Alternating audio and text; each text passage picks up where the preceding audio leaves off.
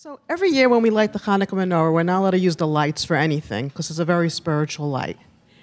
But we light Shabbos candles every Friday night too, and that's also a spiritual light. Yet we can use it. I mean, we have electricity now, but we don't need it, but we could use it if we needed it as light. I was just curious what's the difference with the two spiritual lights? And also on the Shabbos candles, when you light it, it's a favorable time for prayer. When we light the menorah, is it also a favorable time for prayer?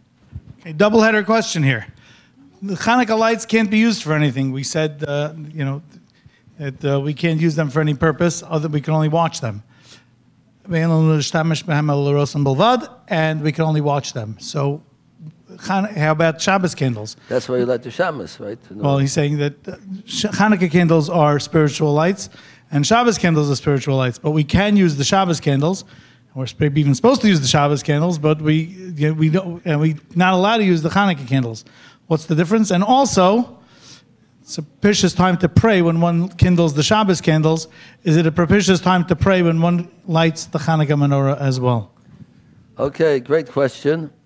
The answer is that the reason for lighting the Hanukkah candles is totally different from the reason for lighting Shabbos candles.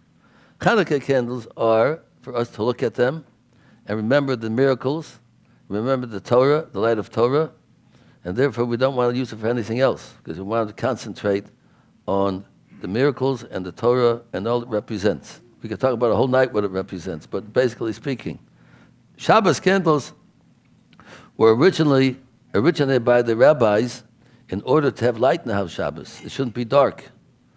People living in a dark house can't really enjoy the evening Shabbos because they can't see where they are. They can trip on this, trip on that, and they can't see what they're doing.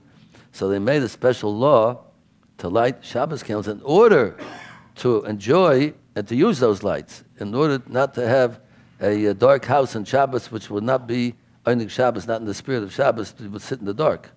So therefore, the whole reason for that was in order to enjoy Shabbos the way it should be. So it's spiritual also, because we want Shabbos to be uh, celebrated in the best way possible. There should be light in the house. So therefore, the whole total different reason for the two lights that we have. As far as praying is concerned, definitely there is a to'elas and the benefit for a person to pray by the Hanukkah light just like the Shabbos lights.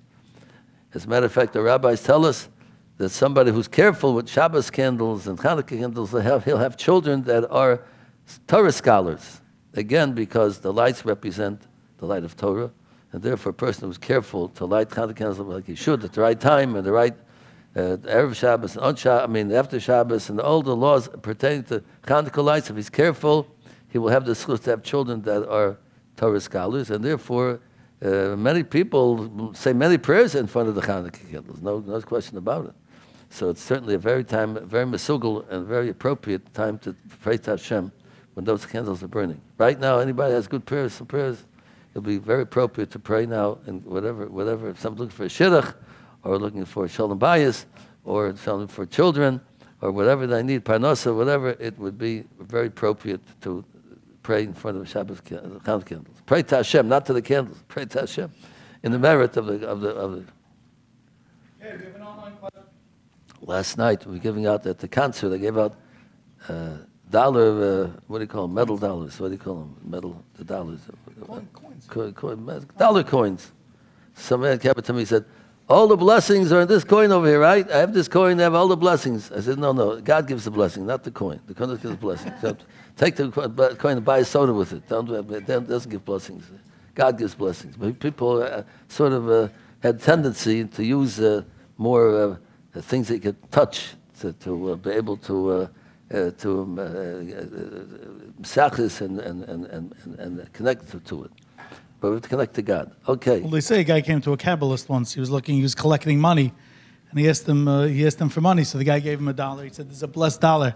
He said, "You know what, Rabbi? Do you have a cursed hundred instead?"